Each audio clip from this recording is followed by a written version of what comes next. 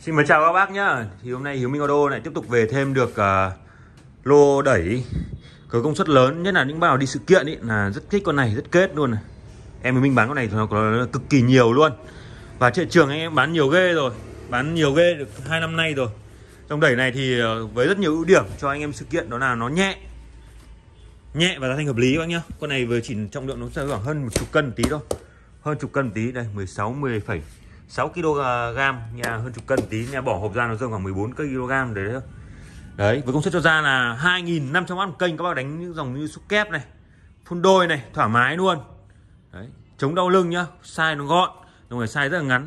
Hàng em để nguyên đai đây vì em review dòng này quá nhiều rồi. Hôm nay em tiếp tục về hàng quay trực tiếp tại kho ở đô số lượng em về cũng rất là khủng nhá. Sau một đơn vị bán auto, những con đẩy cũng rất lớn như này là số lượng em nhập về rất là khủng rồi. Hôm nay về tổng cộng gần 30 con gần 30 con phụ anh em thoải mái. Vì em ôm gần hết hàng của hãng rồi nên anh em có nhu cầu liên hệ em. Giá rất là tốt bác nhá. Anh em chơi này. Hàng nguyên đai nguyên kiện bác anh em nhé đấy. Và tất cả những mẫu này thì được bên Hiếu Minh bảo hành đến 2 năm. Mạch class D. Đấy, với công suất cho ra 2.500W một kênh các bác nhá. Cực kỳ khỏe luôn 4 kênh. Đây dòng đẩy 4 kênh các nhá.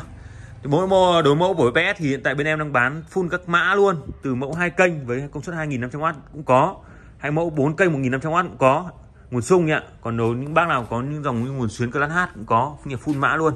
Anh em có nhu cầu làm đại lý anh em có nhu cầu mua lẻ thì liên hệ Imiro với tất cả các hãng cũng như đối sản phẩm bãi cũng vậy. Bên em cũng đổ buôn đổ xỉ lẻ cho tất cả các bác anh em chơi.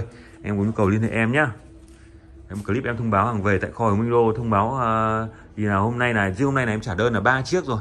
Thì cách đây về vừa hết hàng được có khoảng 4 năm ngày hôm nay thôi.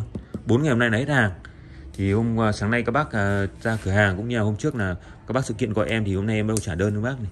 Của ba bác. Thì em vẫn còn số lượng khá nhiều.